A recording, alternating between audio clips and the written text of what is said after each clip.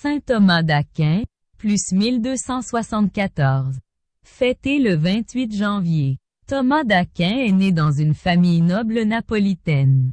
Élevé à l'abbaye bénédictine du Mont-Cassin, Thomas choisit cependant, à 19 ans, d'entrer chez les frères prêcheurs.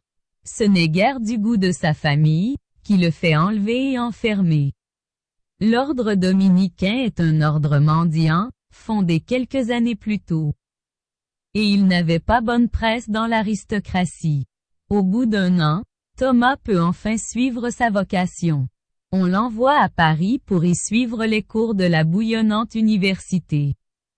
Il a comme professeur Saint-Albert le Grand. Pour ce dernier, il faut faire confiance à la raison et à l'intelligence de l'homme pour chercher Dieu. Le philosophe le plus approprié à cette recherche est Aristote. Saint Thomas retient la leçon. Devenu professeur, il s'attelle à un gigantesque travail pour la mettre en œuvre. Connaissant très bien Aristote et ses commentateurs, mais aussi la Bible et la tradition patristique chrétienne, il élabore une pensée originale, qu'il expose dans de multiples ouvrages dont le plus connu est la Somme théologique. Comme professeur, il doit soutenir de véhémentes controverses avec des intellectuels chevronnés. Il voyage aussi à la demande des papes. Mais c'est l'étude qui a toute sa faveur.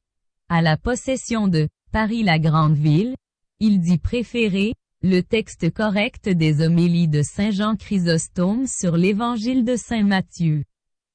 Il meurt sur la route, en chemin vers Lyon où il devait participer au Grand Concile de 1274. Citation. La paix entre les hommes est mieux garantie si chacun se trouve satisfait de ce qui lui appartient.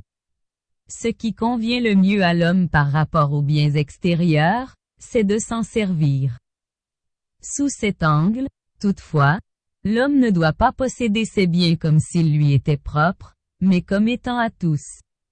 Il doit donc être disposé à en faire part aux plus pauvres. Suivant le conseil de Saint Paul. Saint Thomas, Somme théologique.